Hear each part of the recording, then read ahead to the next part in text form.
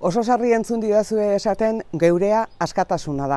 Eta horretarako egunero lan egiten dugu Euskal Errepublika independiente baten alde. Eta danok gara garrantzitsuak, zuetako bagoitza eta gu guztiok gara garrantzitsuak.